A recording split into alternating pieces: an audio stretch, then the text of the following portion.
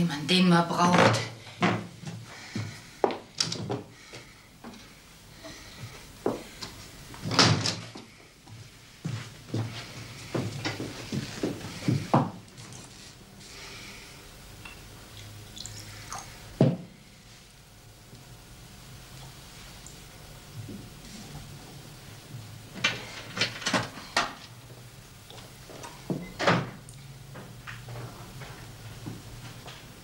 Guten Abend, Schnuckelputz. Du trinkst? Gibt's was Besonderes? Das braucht's bei dir ja nicht.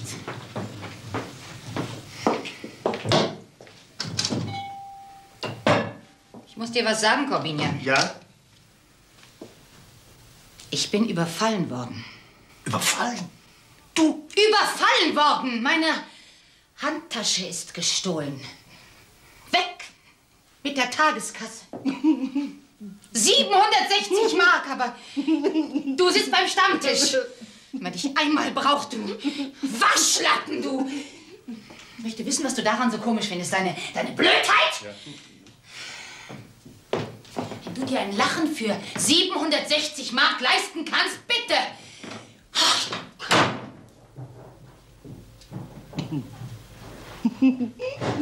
So, Herr Kriminaldirektor, wir es nochmal geschrieben. Ja, Sie hatten seit beim ersten Mal. Äh, aufpassen Ja, sollen. ja. Ja. Entschuldigung, die Störung. Äh, ja, einen Geht's jetzt? Augenblick, Frau Endler. Äh, die Mappe bleibt hier. Ähm, Herr Direktor, es handelt sich um Bitte nehmen. Sie doch Platz, meine Ja, Herren. äh, Ja, danke schön. Es freut mich, mit welchem Eifer und mit welcher Begeisterung Sie diesen Fall anpacken, meine Herren. Ja, Ich bitte Sie, es Herr ist- Steiner, Wenn ist es irgendwie geht, bitte nicht gleichzeitig, meine Herren. Vielleicht einigen Sie sich. Äh, Nichts für ungut, Herr Steiner. Aber im Rahmen des allgemeinen Energiesparens, wir finden heute, dass wir ein bisschen aufwendig angesetzt sind für den Fall. Handtaschendiebstahl, das ist vielleicht was für einen Streifenpolizisten im ersten Jahr. Wenn es sich um einen Einzelfall handelte, könnten Sie recht haben. Vielleicht.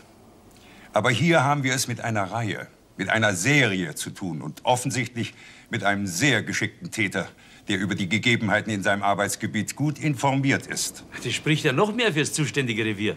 So, interessant. Ist das auch Ihre Meinung, Herr Kettwig? Ja, gewissermaßen ja. Naja. Bedauerlicherweise, für Sie bedauerlich, entscheide in meiner Direktion immer noch ich, für wen welche Aufgabe passend ist und wer welchen Fall übernimmt. Und Sie übernehmen diese leidigen Handtaschendiebstähle, meine Herren.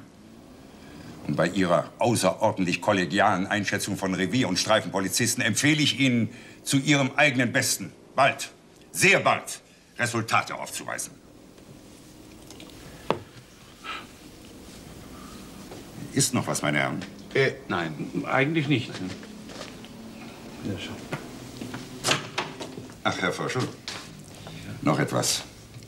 Sparen Sie nicht so viel Energie. Sie haben schon einen beachtlichen Vorrat angehäuft.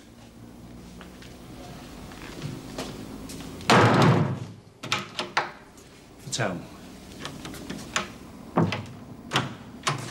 Lang nicht mehr. Aber ist ja wieder mal. Ja, sag mal, wie kommst denn du da her? wer ist denn das? Ja, ich sag aber Tell zu ihm. Nein, nein, das ist ja gut. aber Schau her, der macht sogar Türen auf. Ja, du bist vielleicht der. Da geh her, komm. Jetzt geht da schön Platz.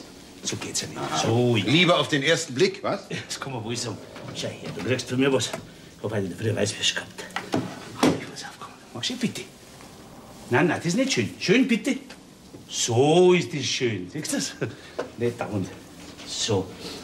Dann werden wir ein paar Kollegen beauftragen, vielleicht Zuhause, wo, wo sein Herrle wohnt. Das muss doch nicht so schwer sein. Ist doch ein einmaliger Hund. Tölli? Wäre vielleicht ganz hübsch, wenn du dich mal um den Diebstahl der Handtaschen kümmern würdest, hm? Kann doch nicht so schwer sein. Was heißt doch ich? Wir? Ist doch wohl keine Arbeit für zwei, hm? Ja, und ob das eine ist. Für einen allein ist's blöd. Tölli? Ah ja. Ja, ja. Bitte schön.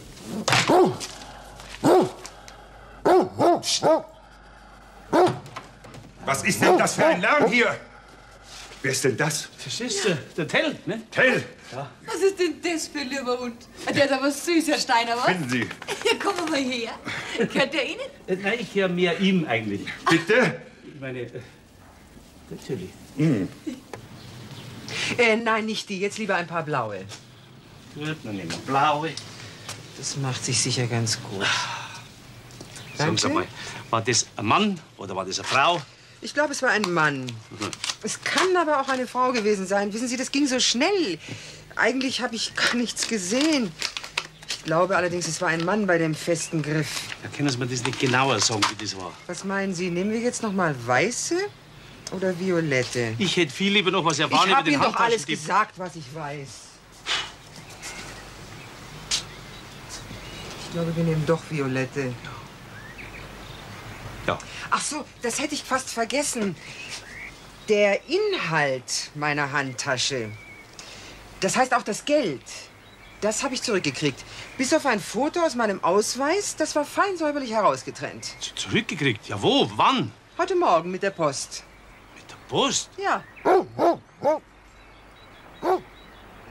Also der kommt mir nicht hier rein, der macht ja meine ganzen Blumen kaputt. Gehört er Ihnen? Nein, ich ihm. Er hat mich adoptiert. Gell, Telly? Sagen Sie, wie viel Geld hatten Sie denn genau bei sich? 315 Mark und 48 Pfennig. Ach, so genau wissen Sie das? Na, freilich weiß ich das. Kommt sofort, entschuldigen Sie Ja, bitte. ja.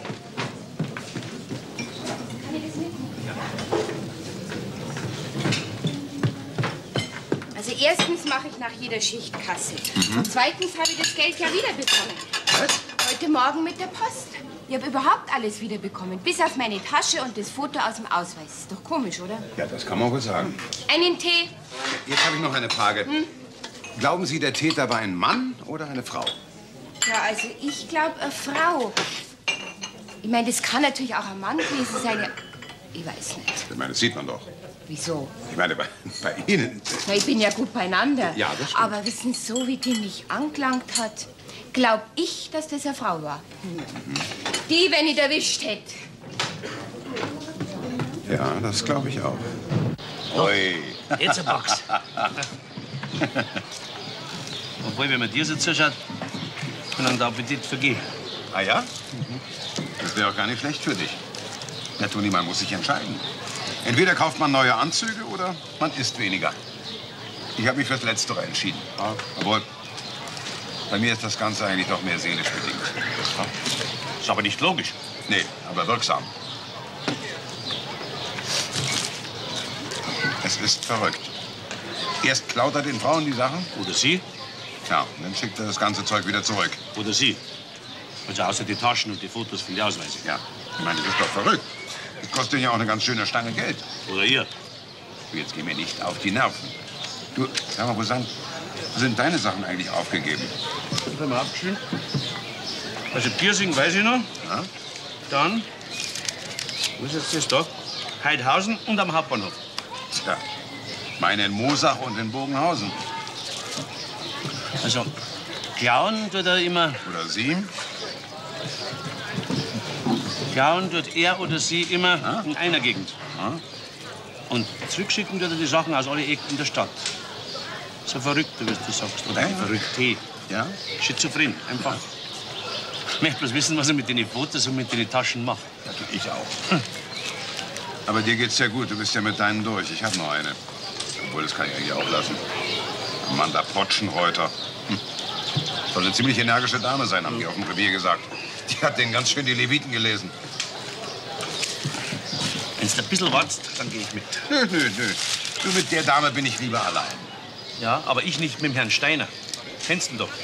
Sagen Sie mal, Fröschel, wie weit sind Sie denn mit dem Fall für den Streifenpolizisten? Ja, ja, obwohl, so Unrecht hat er gar nicht. Ja, hat er eben nicht. Deswegen stinkt er mir ja.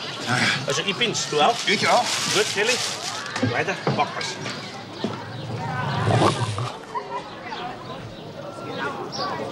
Es ist wirklich rührend, Herr Kettwig, wie Sie Ihre Kollegen verteidigen. Sicher sind Polizisten auch nur Menschen, aber das ist doch kein Grund, seinen Beruf so zu vernachlässigen und nachlässig nachzugehen. Es dürfte doch wirklich nicht schwer sein, in einem so übersichtlichen Viertel wie dem unseren für die Sicherheit der Frauen zu sorgen. Nein, das Nein, ist noch nein. ein bisschen zu früh. Dankeschön. Vielen Dank.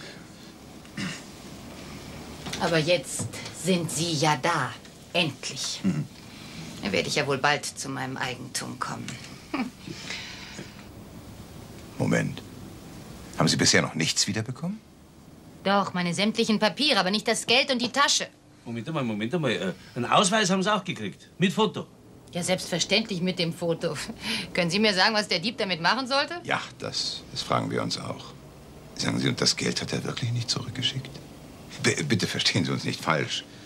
In, äh, in all den anderen Fällen hat der Täter das Geld nämlich immer zurückgeschickt. Die Papiere auch. Er hat nur die Fotos behalten und die Handtaschen. Ja, dann, äh, dann hätte er sich bei Ihnen also absolut normal verhalten. Ich meine, polizeilich gesehen. Es ist mir egal, ob Sie den Täter normal finden oder verrückt. Völlig egal.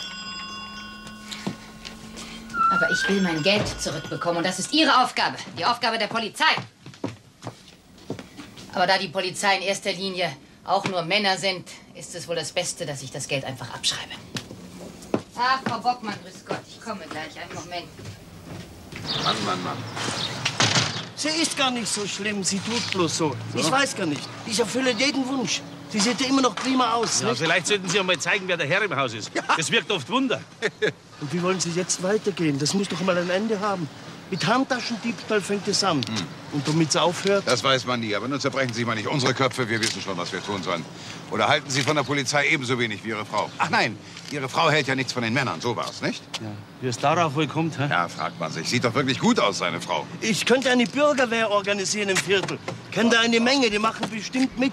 Wir, wir, wir, wir gehen Streife und bringen eine alleingehende Frau nach Hause. Das wäre doch was, ne? Nein, das wäre nichts. Wäre nichts. Nein? Es wäre nichts. Wir machen auch kein Haushaltwarengeschäft auf. Tja,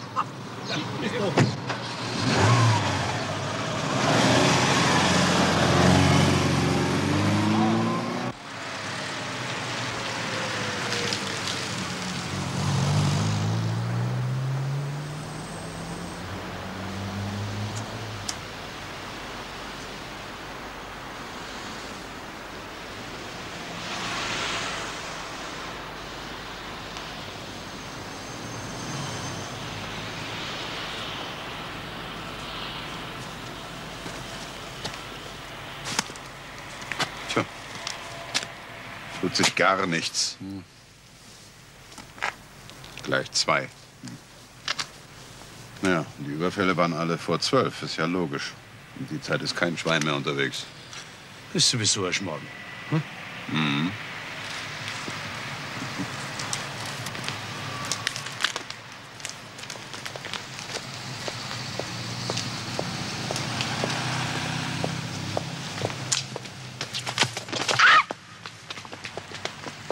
Bleib still! Halt! Mein Taschen! Stehen bleiben! Unter Ihren Augen, direkt unter Ihren Augen. Aber Sie müssen ja um 2 Uhr nach Hause gehen. Der Täter ist ja nur vor 12 Uhr tätig. Wer sagt Ihnen denn, dass wir es nur mit einem Täter zu tun haben? Die Methoden sprechen doch dagegen. Streifenpolizisten wäre das nicht passiert. Vielleicht sollte ich Sie auf ein Revier versetzen. Möglich, dass Sie noch etwas lernen. Denen ist immerhin schon sechsmal passiert. Wenn Sie etwas zu sagen haben, dann bitte so, dass man es verstehen kann. Resultate, meine Herren, Resultate. Und der arme Hund gehört in den Wald und nicht ins Büro.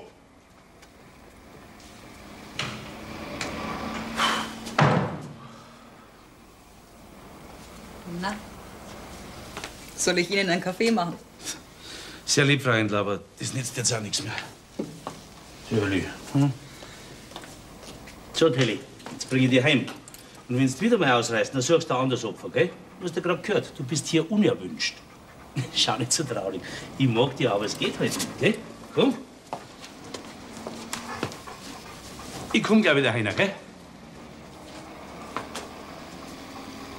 Was schauen Sie mir denn so komisch an? Ist irgendwas? Heiner? Ja? Ja? Siehst du, was ich auch sehe? Du hast recht. Natürlich habe ich recht. Sie ist doch genau der Typ. Aha, genau. Was für ein Typ? Das kommt überhaupt nicht in Frage. So, Frau Händler. Das ist aber wirklich das letzte Mal. Die vierte Nacht schlage ich mir jetzt schon um die Ohren. Und für was? Für nix. Oh, Frau Händler, das machst du doch für uns. Und im Dienste der Gerechtigkeit. Ja. Dafür kann ich mir was kaufen. Der Steiner, wenn wüsste, was wir hier treiben, der möchte nicht hören, was der sagt. Überstunden kriege ich auch keine bezahlt. Wir zwei auch nicht, Frau Endler. Eben. Packen wir's? Moment. Toi, toi, toi.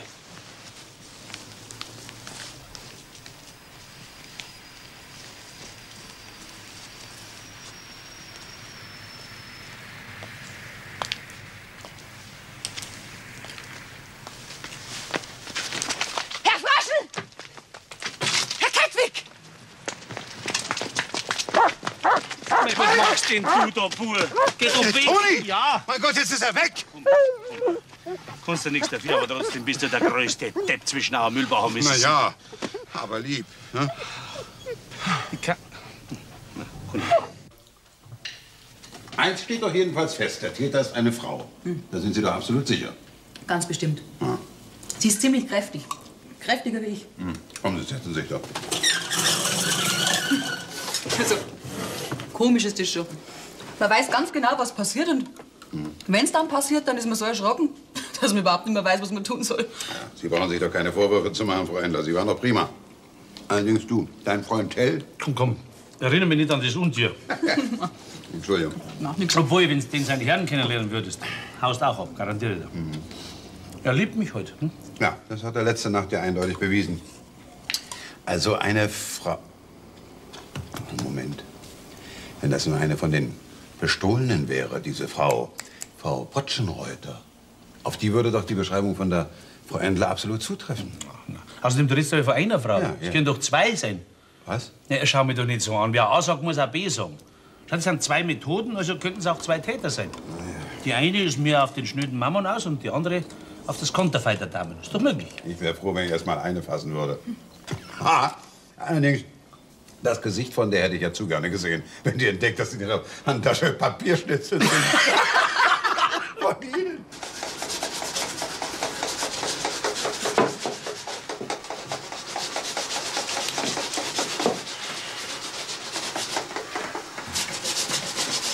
Nicht müde werden, Kettwig. Na, das reicht noch lange nicht. Rühren ist das halbe Rezept. Ach ja? Au! Sie Dirken. Haben Sie schon mal was davon gehört, Herr Wanninger, dass es seit längerer Zeit schon wunderbare Küchenmaschinen gibt? Ja. Ja, ob Sie es glauben oder nicht, die reiben auch Kartoffeln. Ach, freilich. Da läuft man nicht Gefahr, dass man sich die Hand amputiert. Frischl, du bist ein kulinarischer Banause. Kartoffelkern mit der Hand kriegen. Da kriegen doch die Knödel einen ganz anderen Geschmack. Ja, durch meinen Finger vielleicht. Ja, aber ich finde es halt an der Ausdauer. Nicht bloß in der Küche. Zum Beispiel die Frau Endler als Lockvogel. Ja, und das war... Naja, falsch war es nicht, aber richtig war es auch nicht. Ja, ich habe meine Sachen früher immer selber gemacht. Oder stimmt's nicht? Doch, doch, das stimmt schon. Ja, also. Ja, ja. Früher immer alles selber gemacht. Ja, das muss toll gewesen sein. Aber jetzt sind Sie eben leider pensioniert, Herr Wanninger. Ja, das waren andere Zeiten damals. Ja, ja, ja. Wunderbare Zeiten. Ja, das hast du erzählt immer wieder. Mhm. Schön gewesen. Aber was machen wir jetzt? Eben. Ja, meint ihr vielleicht, ich merke nicht, warum ihr das Zeug daher geschafft habt und warum ich für euch kochen darf. Aus der Patschen soll ich euch wieder mal helfen, gell? Aber da ist nichts drin. Nein, nein. Ich habe ja schon alles Mögliche gemacht. Aber als Frauenzimmer bin ich halt doch ein bisschen zu groß. Aber du, Frischl, ha? dir könnte man's glauben. Mir? Hm? Na, der, der Heiner wäre doch viel besser. Haben Sie gesehen, wie der gerührt hat? Der ist sehr elegant. Was bin ich? Nein, nein, nein. Also. Nein, nein, nein, nein. Also der Lockvogel, der braucht ja nicht schön sein. gell? Aber bayerisch muss er sein. Da schau her. Das da. Das ist der Handtaschen. So, und jetzt gehst du mal ein bisschen auf und ab, gell? Ja, aber nicht so hölzern. Ein bisschen damenhaft. Damen. Ja? Na also, schon bedeutend besser. Also wenn auf dich einer reinfällt, dann glaube ich an Wunder. Also ich nicht. Dem fehlt bloß ein bisschen Unterricht. Ein Experte muss her. Rexen, Linsen, Rexen, Linsen, die Popo. Ja. Rase, aber das geht nicht. Geht nicht. Nein. Darf ich bitte? Bitte schön. S'il vous plaît. Regardez-moi. Ja. Na? gauche. Gibt's das? Ist der. Ja. Très good. Et pas comme ça, nicht so. Das geht nicht. So, jetzt steht es schon. Verstehen Sie? Also, ich halt Alleine. Sie bitte. Ja, bitte. Einmal. Mit Gefund. Also. Rechts, links, rechts. Nix. Katastrophe. Ja, so traurig, Noch einmal. Du musst strahlen, glaub Mit ich. Jetzt, äh, Please, s'il vous plaît. Ja, gauche. Du kommst schon Nein, hin. nein, nein, nein, nein, nein. Ich sage noch, was ist für anstrengend. So einfach ist Die das Frau gar hat zu ist sein, das geht nicht. Einfach so, voilà. Süß und äh, nicht hart. Süß. Bewegen Sie so. So soft. Soft. Aber Sie haben für Sie etwas gebracht. Schauen Sie bitte. Schauen Sie, hübsch. Ist Exklusivmodell, extraordinär aus Paris. So, nur- Ja, ja, ja, ja. Na, schön schon, schön schon, aber ein bisschen zu auffällig, finde ich. Naja, es geht.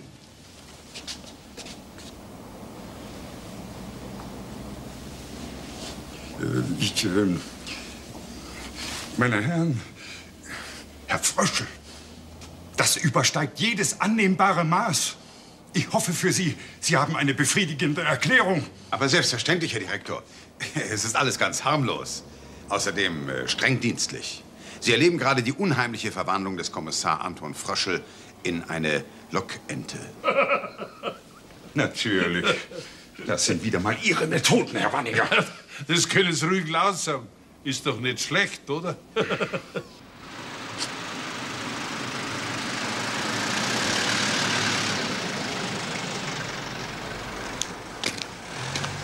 Allein, schöne Dame. Ja. Sie entdeckt, meinen Sie nicht, dass wir, wir beide nach Zeit nicht kommen? Lassen Sie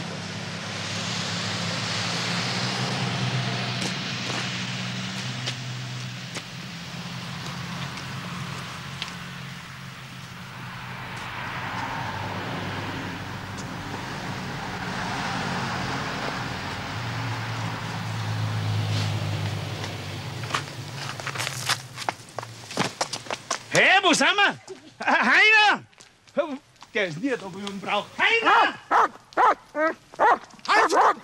Halt stehen bleiben! Halt Sie stehen! Hör auf! Was ist denn los? Hast du ihn? Ja, freilich, brav, Tilly. Au!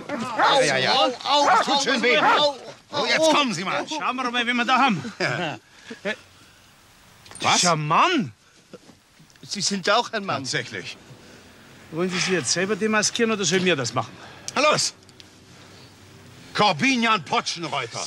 Entschuldigen Sie, ich, äh, meine Frau, ich konnte konnt nicht anders. Ich habe da niemandem geschadet. Ja, das wird das Gericht entscheiden, obwohl persönlich kann ich Sie schon verstehen. Allerdings Ihre Therapie war ein bisschen extrem, finden Sie nicht? Seit wann ist ein Diebstahl in Therapie? Auch schon lange, Toni. Weißt, er wollte seine Frau bestrafen, aber nicht nur seine Frau, sondern alle Frauen, die Frau schlechthin. Deshalb hat er sich verkleidet, denn dann war er nicht mehr er, sondern seine Frau, die die anderen Frauen überfallen hat. Stimmt's?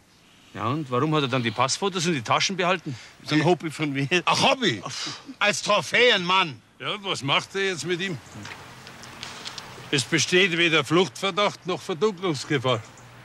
Also, wenn er mich fragt, schickt ihn doch heim. Nein, nehmen Sie mich mit. Bitte. Ja, ja, Tell, gell? Es gibt schon komische Leute. Da sind halt wir zwei doch die besseren Menschen.